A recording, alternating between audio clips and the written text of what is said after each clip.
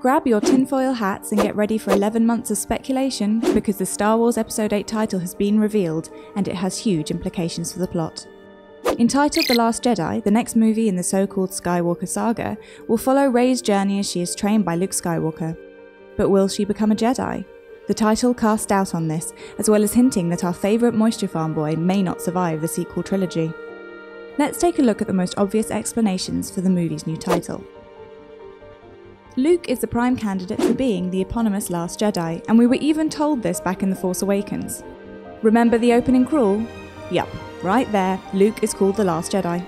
Mystery solved, video's over. Except, what does this mean for Rey? It could be that Rey doesn't become a Jedi at all. Instead, she may decide to follow Kylo Ren's suggestion and fall to the dark side. We're not done yet. Or maybe she'll become something new, defying old ideas of light versus dark. In fact, Daisy Ridley herself already hinted that this may be Rey's choice. I don't know if I am a Jedi. I don't think I am. Oh, and also, we it's a had this debate progress. about whether like Leia is because she uses her force powers. Of course, just because just she's be- not like, oh, I'm going on an adventure like Luke doesn't make her any less forceful. That would certainly be an interesting plot twist. or perhaps Rey will be the last one to become a Jedi after Luke has trained her. This implies that Luke himself will die, possibly in some grand final sacrifice. Or maybe he'll just curl up in a ball and go to sleep forever, like Yoda. After all Luke's been through, I wouldn't blame him for wanting to take an eternity long nap. We already know that Star Wars 8 will be a darker movie than The Force Awakens, and this could be because of Luke's death, as he leaves Rey alone in an unfriendly galaxy. But there is another.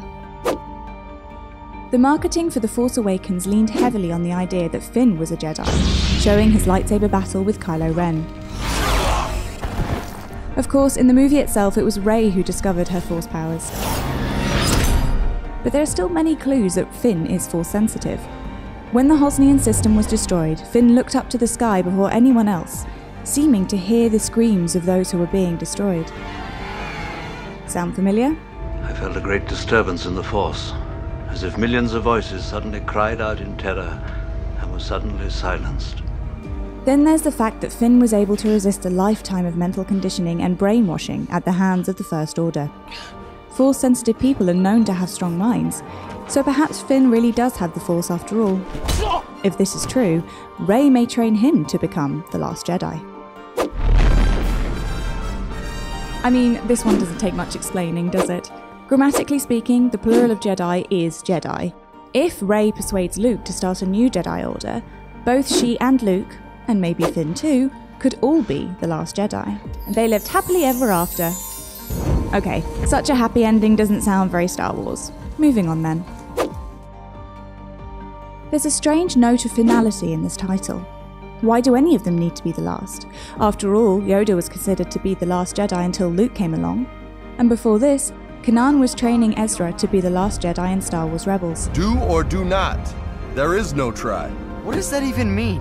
The point is, there are so few Jedi left that any of them could be the last, until they train someone else. So what if they can't? It could be that the sequel saga tells the story of how the Force is destroyed, finally bringing balance between the light and the dark by erasing the Force completely. Except, the Force is created by all living things. Its energy surrounds us and binds us. So to destroy it, you might have to destroy all life in the galaxy. And that's just a bit too dark for Star Wars. Of course, this could all be Lucasfilm and Disney's way of keeping us talking and theorising for the next 11 months. The Last Jedi is so tantalisingly vague, but also hinting at any number of possible plots, that the title alone will make people want to see the movie. And this wouldn't be the first time a Star Wars title has been misleading. Return of the Jedi promised a new age for the Ancient Order, but The Force Awakens revealed this was just a pipe dream. So don't get too attached to any of these theories yet. Lucasfilm know their audience, and they know just how to keep us guessing.